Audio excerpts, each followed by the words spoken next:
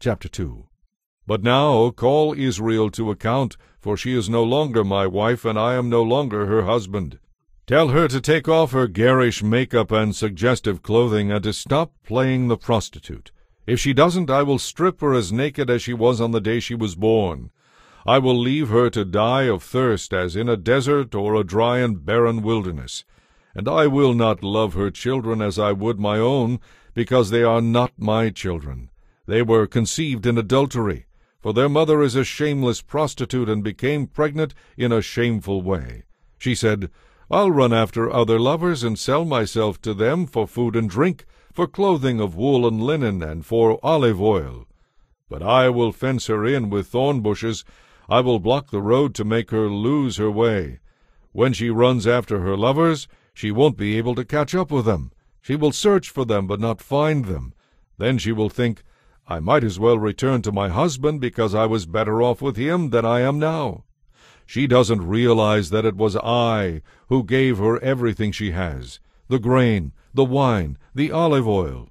Even the gold and silver she used in worshipping the god Baal were gifts from me. But now I will take back the wine and ripened grain I generously provided each harvest season. I will take away the linen and wool clothing I gave her to cover her nakedness. I will strip her naked in public, while all her lovers look on. No one will be able to rescue her from my hands. I will put an end to her annual festivals, her new moon celebrations, and her Sabbath days, all her appointed festivals. I will destroy her vineyards and orchards, things she claims her lovers gave her. I will let them grow into tangled thickets where only wild animals will eat the fruit.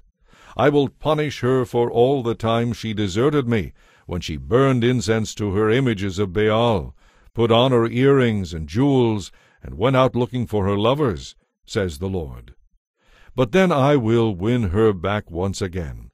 I will lead her out into the desert, and speak tenderly to her there. I will return her vineyards to her, and transform the valley of trouble into a gateway of hope. She will give herself to me there, as she did long ago when she was young, when I freed her from her captivity in Egypt. In that coming day, says the Lord, you will call me my husband, instead of my master. O Israel, I will cause you to forget your images of Baal, even their names will no longer be spoken. At that time I will make a covenant with all the wild animals and the birds and the animals that scurry along the ground, so that they will not harm you.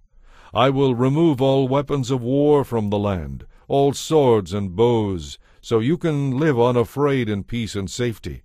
I will make you my wife forever, showing you righteousness and justice, unfailing love and compassion. I will be faithful to you and make you mine, and you will finally know me as Lord. In that day, says the Lord, I will answer the pleading of the sky for clouds, which will pour down water on the earth in answer to its cries for rain. Then the earth will answer the thirsty cries of the grain, the grapes, and the olive trees for moisture.